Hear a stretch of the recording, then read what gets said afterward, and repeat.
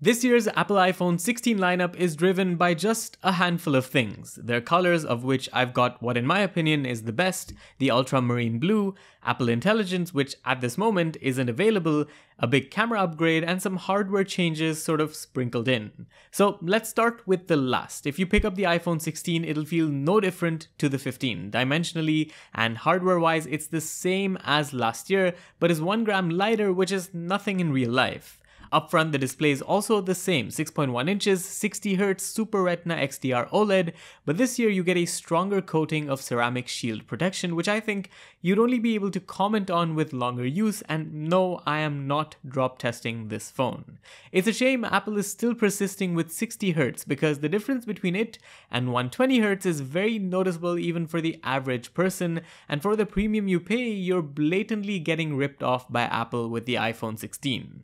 Quality wise, I have no complaints though, but I did feel the speakers sound a bit tinny, so that's something I wanted to point out. The heart and soul of the iPhone 16, in my opinion, is the chipset and the camera. Apple claims the 16 series is built with AI in mind, but it's sad that none of these AI features are on the iPhone 16 yet, in fact, not even on the Pro variants. The update for the same is due sometime mid October, which is about a week away, but from the looks of it, it'll not be game changing. The major takeaways are you'll get ChatGPT integrated into the UI, be it when it comes to dealing with text and emails, things like summaries, for example, or organizing your notifications, but that's it.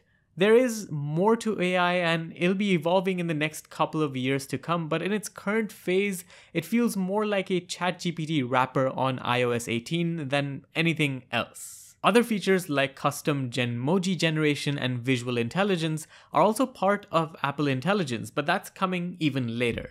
I'm interested in visual intelligence, mainly because it'll make the camera control button have some use. And I say that because in its current state, I feel it's a gimmick or a party trick and nothing more than that solely because of its position, and I've talked more about this in my video right here. More so, launching the camera can very well be done by the new action button, which is also a new feature on the iPhone 16 this year. To be honest, I do miss the alert slider. I said that even last year with the 15 Pro, but hey, you've got to deal with it, and now this is what you get, and you accept and move on because that's what you get with the Apple ecosystem. Back to the camera control button, it's essentially a tool to control various aspects of your camera. You can click to take a picture or light press and swipe to navigate through different options of the camera. But I feel Apple missed the trick here, one with positioning and two with it not doubling as something else, like maybe a fingerprint scanner. While we're here, let's also talk about the camera. Compared to the 15, there's no change in the main lens, but the ultra wide is different now with autofocus support. And that's the big change in practice, which means you'll be able to take macro images with the iPhone 16.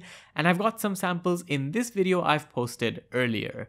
Then there's support for spatial video given the movement of the cameras in the back for the few people in the world that film this stuff. I don't know who does, but if you do, you've got that, but beyond these things and software processing differences due to the A18 chip aside, you'll get an identical experience to the iPhone 15, both in terms of images and also in terms of video recording, where you will be capped at 4K 60 FPS and will not go more than that to 120 FPS, which is only reserved for the Pro models of the 16 series. Sure, the same A18 chip also means performance is bumped up and things will be snappier, but it's fairly minor and I don't think it's game changing. Also, I didn't find gaming to be too enjoyable on the iPhone 16 like Apple claimed in its keynote, just because the display lets things down completely. I'm used to playing on a high refresh rate display, and with this being a 60Hz panel, gaming, be it any game, just feels a bit off. The device also heats up a fair bit 10 to 15 minutes into a game,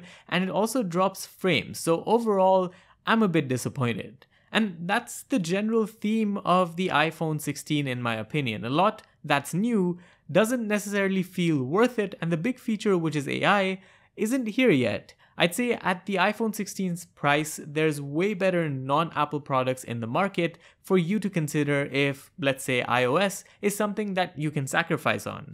And AI doesn't really make a strong case for the smartphone, especially now. We're about a few weeks into the launch cycle of the iPhone 16, but the update is still only yet to come, and we don't know when it's gonna come. If you really want an iPhone, the iPhone 15 is still good enough, and you'll save some money and also not really lose out on a lot. Perhaps only the one thing you would lose out on is battery life, where the 16 is significantly better, but I don't think that's the only reason why you should upgrade to a 16. So that's all for this one. Do let me know what you guys think about the iPhone 16 down in the comments and also my opinions on the iPhone 16 as well. Thanks for watching.